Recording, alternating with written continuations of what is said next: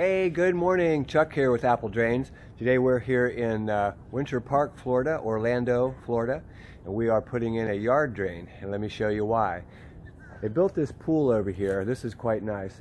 But what it did was it raised up the soil. And now the water tends to run from this area back and it just goes right across her patio and ends up over here in this corner. And you can see the sandbags here. This was actually from the hurricane water you know really came through the area. So what we're going to do is we're going to put in the French drain, people call it. We call it a gravel perforated drain, although we're using newer material, which is perforated pipe surrounded by styrofoam peanuts. This acts as a French drain.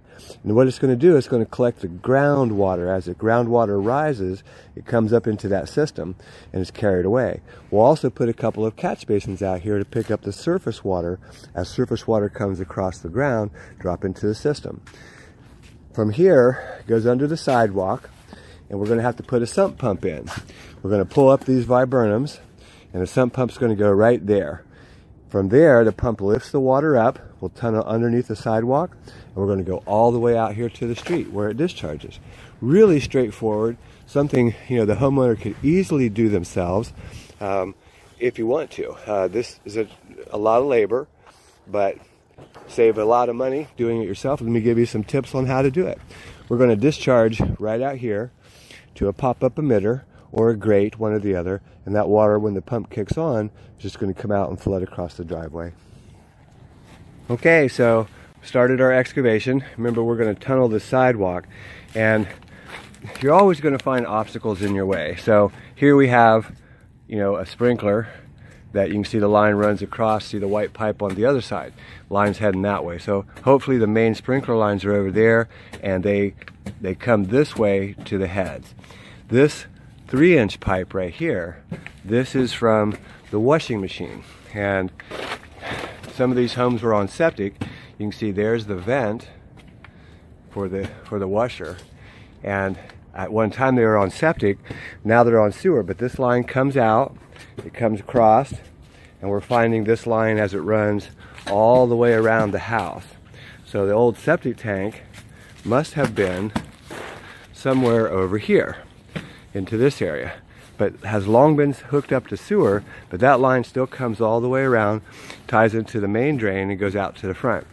It's just an obstacle. It's still working order. We can't take it out. So we've got to modify our system to work with that. We wanted to be right beside the edge of the concrete, but we're going to have to move over on the other side of that pipe to install the system. It's going to work exactly the same way, just a little bit of exploring. Unfortunate that we had to cut all that sod and move it around a bit, but it'll still work. So over here where we're going to tunnel the sidewalk, come under the walk, on the other side of the fence, we pulled the two viburnums that were here, and we're going to try to sink a sump pit right into this area right here. So let me get started on that. So again, remember there are obstacles on most jobs. Sprinkler line, we need to tunnel the walk. I've already started that. Real small walk comes across. We've got a tunnel underneath of the sewer line, go underneath the fence. We come right over here, and that's going to be where the something. So you can see that again there are obstacles. Not only are we finding sprinkler line, but you can see there is an old French drain here with lots of gravel. So the homeowner probably put that in, but it didn't go anywhere. So again, water filled up the system, and that was the end of that. It just collected water. It didn't go anywhere. So again, remember, you will find obstacles, I promise you. And some of them are easy, some of them are hard. Once we get past the sewer line right here, should be a really simple excavation. Go underneath of it here, and you can see we're going underneath the sidewalk already, almost through there. That's a small walk, shouldn't take but just a minute. And again, the way you go underneath of a walk is you scrape from the top, scrape it off the top, then you come back and you dig down and make it deeper. And you can go as deep as you want, but the secret is to hit the top of that in other words, the bottom of the concrete, we call it the top. You scrape it off the top, then you come back, you get a scoop, and pull it back out. Only take you a couple of minutes to tunnel this walk. Okay, so if you're gonna cut sod, sometimes we lay plastic out here on the side, sometimes we don't. But it's easier if you have plastic, because you can push it right back in. Cut the sod, two strips, just take your shovel and slice right down through it. come back about a foot, just take off one foot sections, scrape it, a lot of tree roots right here, but, and then set it nicely alongside your trench because you're going to put it back. Do this all the way down to have a nice clean installation. Tree roots make it tough. I'm just scraping underneath of the root system of the sod and setting it right beside the trench. Try to take care of that sod so it goes back nicely. When you come back, and you always work backwards. Take out your shovel, shovel deep. Remember, we're running inch and a half pipe through here, so it doesn't have to be really deep. It's under pressure. A lot of tree roots. Shovel will cut them. Just make it a good slice. It cuts right through them. Not big roots, but enough to stop your shovel. Use your body weight, come back, clean out the trench. Remember to set your dirt here, not out here. Hard to put back.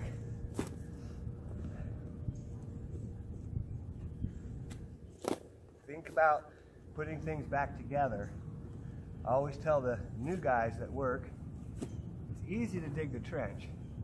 It's hard to put it back together.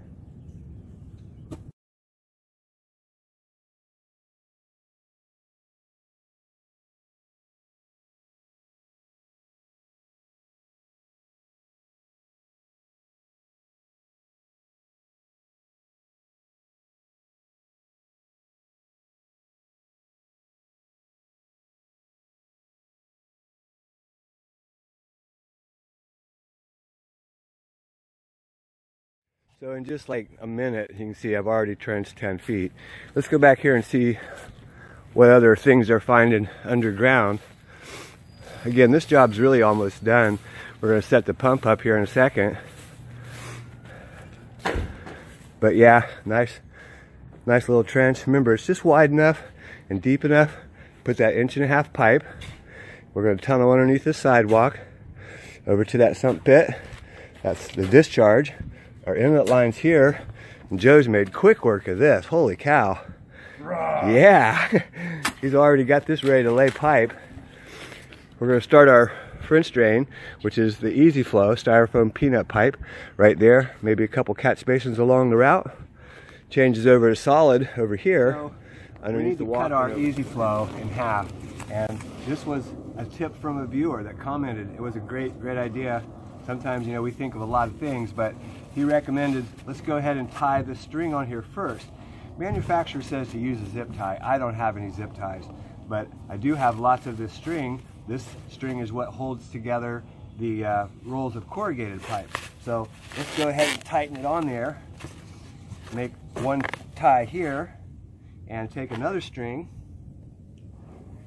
and we'll cut this side, tie it, and then we can cut it and hopefully we don't spill out all the peanuts. It was a great comment and again, thank you so much. So I do read the comments, good and bad. So we're gonna tighten this on there. There we go. Now I can cut between the strings because I need to put a catch basin right here. So I'll lose a few peanuts, but not like I was losing before.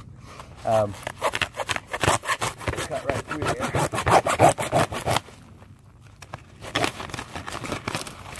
then get rid of the fabric without cutting the string.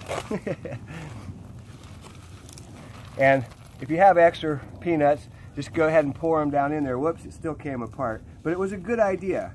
Um, a real, real good tip from comment from a viewer. Thank you so much. We've cut the EZ Flow. We've tied the knot around the fabric to keep the penis from coming out. I like to throw a little bit of soil on top of things here to help hold it all in place so that we don't have to have it move around as we're uh, backfilling it. But yeah, looking really good. You can see our line. I already put a catch basin there. We're going to extend that with a riser, bring that up to grade. And you know what, it looks like it's going to rain. It wasn't supposed to rain today, and you can see how dark it is over there. but anyways, um, looking really good. EZ Flow is going to pick up the subsurface water as it floods up, and the catch basins are going to pick up the immediate surface water runoff and drop into our system, and it's going to be carried away over to the sump pit and pumped out to the street. Okay, so here's our discharge. We decided to use a just a four inch grate because it's under pressure. Sometimes it blows the pop up, you know, off of there. We've got inch and a half PVC that runs all the way back. We're backfilling that right now. Remember, this line only has to be a few inches deep. Six inches deep is, is plenty. We do have a broken irrigation line. We'll make a repair to that.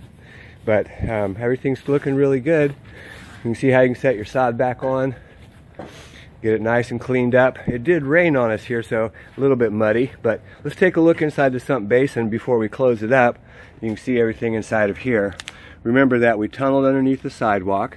Line goes over, and of course you saw the discharge. We've got the inlet line that comes in. This is picking up the, the French drain in the backyard. It brings all the water into the sump basin, and then the pump lifts it up and sends it right on out to the street. This is a Zoeller M98 half horsepower pump, very powerful pump. And we've got a check valve on here to only allow the water to flow one direction so that water can't come back down the line. Let's go around back and take a look. And again, remember we had to tunnel underneath the sewer line, underneath of the sidewalk, sprinkler systems, and you can see we're just backfilling. This is the French drain. Got a couple of catch basins installed in low spots. We just don't want to cover them up. Of course, easy enough to clean. Over here, we had to make the extension, and I've showed you that extension a couple of times. Let's take a look at it real quick. You see the green pipe? It's just, we've got four inches of rise to bring this back up to the right height. And, and then we can set our grate back on the top and sod can thatch around this area. It becomes a low spot for surface water to drop into. Remember how the system works. The gravel perforated pipe, or in this case, the EZ Flow pipe, it collects subsurface water. As subsurface water rises, groundwater, the ground table, water table, as that rises, it enters the system and gets carried away. And then from this higher ground, hard to show you on the camera, but it's higher there than it is over here on the patio. You can see that water will drop into the system through the catch basins. So it picks up water two ways and it's being discharged not by gravity, but by a sump pump.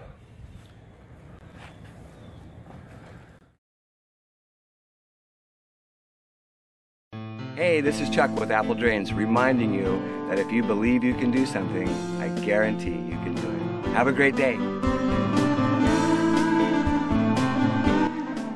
Hey, don't forget about Live Help, video consultation via Skype. Sign up online.